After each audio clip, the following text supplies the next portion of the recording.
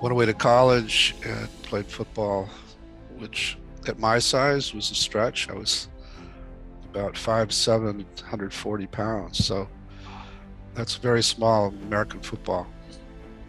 And the reason I could survive was I just would let this angry part totally take over. And so it was useful on the football field, but it wasn't so useful in relationships. And as a leader, which I later became, between the angry part and then to counter the feeling of worthlessness that I'd gotten from my father, I had a, a part that really wanted to prove him wrong and to, to do something important.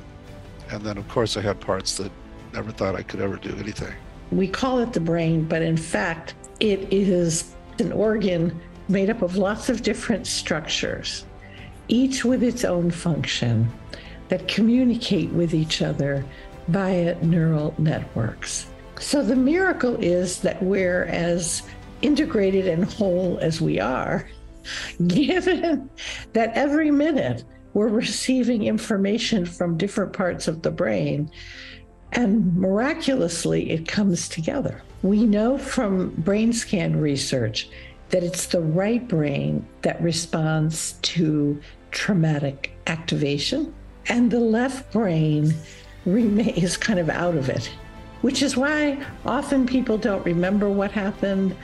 They're very confused about what happened because the left brain is the side of the brain that would tell us, okay, this is how it happened. Here's the chronology. This is why. Here's how it started. But the left brain is just not involved because the survival brain, the right brain, is what gets us through. Because for most people around the world, trauma doesn't come as a single incident, it's an environment. You know, war is a traumatic environment. Child abuse, same thing, right? It's a dangerous environment. Domestic violence, the same thing. With these chronic traumatic environmental conditions, the left and right brains begin to operate more separately. So we have to work with people as divided beings. Message is that so many of our problems are because we tend to try to demonize and lock up each other instead of listening at first and then actually helping each other heal. So that writ large creates the kinds of governments and cultures that we are faced with now. And between that kind of approach and then trauma was talking about with myself, but people in general, those traumas produce extreme parts, protectors that can dehumanize other people and get very, very driven and selfish and blinded to the damage that they can do. And anytime somebody gets near one of those vulnerable parts, the fight and flight parts put up a massive defense. So you see that a lot with perpetrators of domestic violence who get paranoid that their spouses are having an affair, which is a fear of the cry for help part. And then their fight parts respond to the fear of this cry for help part by becoming violent, controlling, and angry. Some of this message of love, not war, you know, I'm a child of the 60s. Uh, and some of it is a message of we have to heal the traumas. We have to go to where we're stuck in the past. A young woman who, at age 13, I think most of the worst of her abuse was over. But she was in such a bad state that she was put in a psychiatric hospital with adults, which was a terrifying experience. And when she came out of hospital, she went to a party with her friends and someone gave her a beer. And she remembered taking two or three sips of beer and suddenly feeling this wave of relief. And she said to herself, okay, if I have beer, I can make it through until I get out of my family. So she used beer to get through secondary school. She used even more beer to get through university. And when I met her, she was a full blown alcoholic. But she'd gotten herself to safety. She'd gotten away from her family. She'd gotten a good education. She had a good job. But that automatic use of substances to soothe every triggered emotion, at that point, it was an addiction, so she couldn't stop. I read a statistic recently that said 60% of the population lives paycheck to paycheck.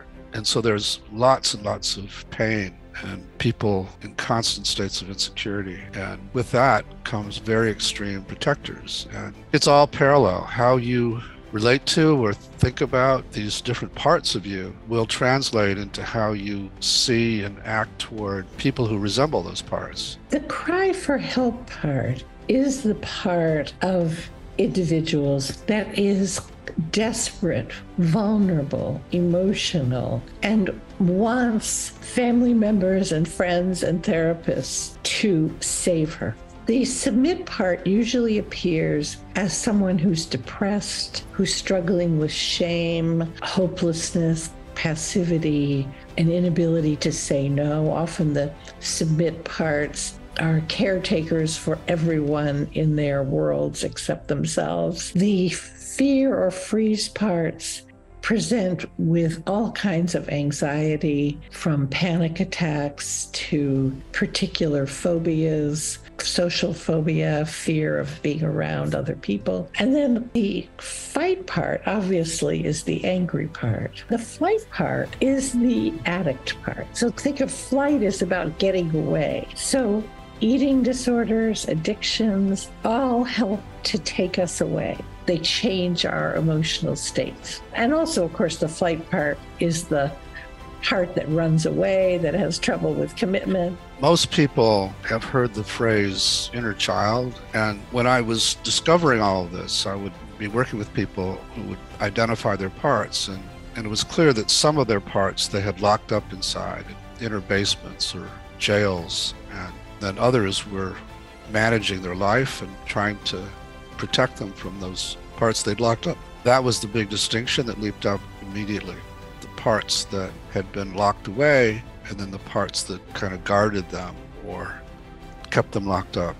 It seemed that the ones who had been locked up carried these intense burdens of emotional pain or terror or shame or sense of abandonment or rejection things like that. And as I got to know them better, what I learned was these parts weren't always like that, that before they picked up these burdens from traumas, they were these playful, lively, creative, fun loving inner children who also are the most sensitive parts of us because they're young and innocent. And and so they're the ones that get hurt the most by what happens to us, these negative experiences. And they take on these extreme beliefs and emotions that I call burdens.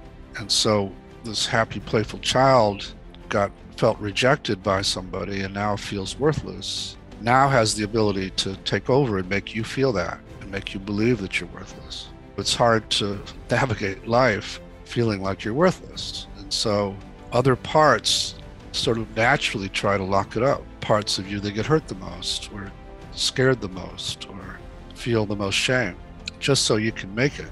And then you have a lot of exiles. And once you have a lot of these exiles, you feel a lot more delicate and the world seems a lot more dangerous because so many things could trigger them.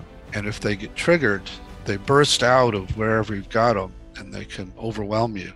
And then it's hard to function and you have symptoms. And so other parts are forced out of their naturally valuable states into protective roles to try and keep the exiles contained and never triggered. And some of them try to manage your life so that nothing bad happens and people like you and you don't get rejected or criticized. They might keep you a certain distance from people so no one gets close enough to trigger you or make you look perfect or perform at a high level.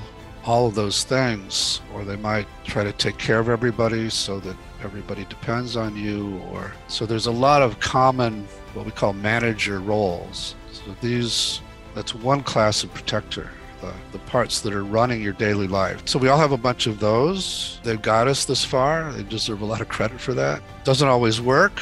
Despite the manager's best efforts, we get triggered. Big explosion, flames of emotion are going to consume us. Something has to happen to get us away from that. So there's another set of parts who immediately jump into action to either get us higher than those flames of emotion or douse them with substance or distract us until they burn themselves out. So we call those firefighters. They're fighting the flames of emotion. And most of us have a kind of hierarchy of those parts.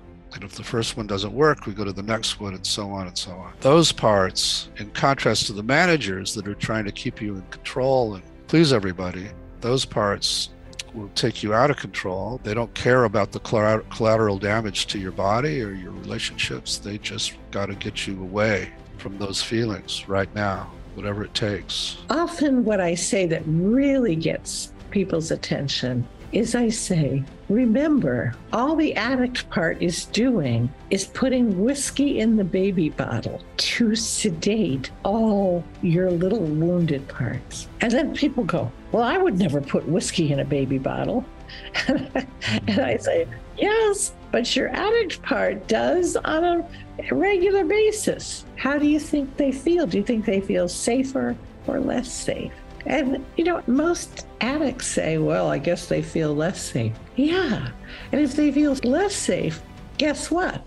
Your addict part has to put more whiskey in the baby bottle to get them to shut up. When we feel that we failed, when we feel shame, it's a very unpleasant emotional state. And, and for people with addictions, uncomfortable emotional states mean have another drink. You need a few more pills. Shame doesn't help any of us. Maybe we think that when someone's ashamed, they're taking responsibility, but they're not because responsibility is higher level thinking. That's something that's easier to do if you've been curious. Yeah, if we're curious, it's easier to take that responsibility. When we feel shame, I don't want to take responsibility. So I always get people to first look at how is this substance helping you? Because usually when they start to be curious about how the substance is helping them, they pretty quickly realize, well, it's kind of sort of helping, but it's actually not. You can't just go to a part and say, stop doing it. Stop, you know, making him drink all the time. You have to learn about how it's trying to protect other parts or is polarized with some other critic in there and start to work all of that. In learning all that, what came to me at some point was yeah, there are no bad parts. They're all valuable inner beings with these wonderful qualities to help us in our lives. And when we don't suffer traumas or attachment injuries and so on, they just help us all our life. They give us advice or they give us joy or they all kinds of things. But they're forced out of their naturally valuable states by trauma and attachment injury. And they take on these extreme beliefs and emotions I call burdens. And they get frozen in the past, they get frozen in time. Uh, and they think you're still five years old and they have to protect you in the way they did back then. As I'm trying to have these two parts talk, maybe a third one is interfering and making one angry. So I began asking clients to see if they could find the one who's interfering. And to my amazement, they would say, okay, yeah, I got it to move. And when they did, it was almost like this other person would pop up and would be curious in a pure way and calm and would have confidence and even compassion often for the target part. And when I would do the same process with other clients, it was like the same person would pop out spontaneously simply by getting other parts that had been polarized to open space. If I were to ask you, okay, what part of you is that? It's likely you'd say some version of that's not a part like these others. That's me. That's myself. So I came to call that the self with a capital S. And now, 40 years later, and thousands of clients later, and thousands of people using this all over the world, we can safely say that that self is in everybody, can't be damaged, knows how to heal, and is just beneath the surface of these parts, such that when they open space, it pops out spontaneously. So I had a argument with my wife this morning, And the part that she commonly triggers just totally took over. And then I react to her from that place, which of course only triggers her protectors more too. And we've gotten very good at catching ourselves when we're when it's protector wars and one of us saying, okay, time out, let's get a little space, and I'll go and I'll get that protector to pull its energy out, and I'll say, okay, look, I know you've got this attitude about her, but you know, she's suffering right now with things she's worried about. And so I can come back and apologize for letting that part take over, and she can. And we have more of a self to self connection and conversation. So that's a lot of what we're shooting for. It's not like when you've healed your parts, you never have an argument, but it's more like when you do, you catch yourself and you get a little separation and you come back. Thank you for listening, and I hope you enjoyed the show. If you'd like to hear the full version, you can do so with the Weekend University Premium membership. This gets you access to our master library of over 230 talks and interviews with the world's leading psychologists, professors, and authors, as well as transcripts, CPD certification, quizzes, and unlimited access to the recordings from our annual conferences. For more information, please go to theweekenduniversity.com forward slash membership.